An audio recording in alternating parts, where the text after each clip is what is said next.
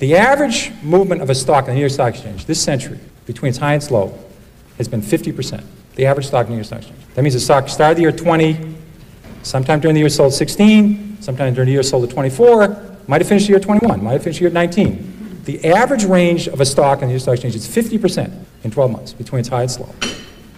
So stocks go up and down a lot within a year. And say this stock is going up means you're right, doesn't mean a damn thing.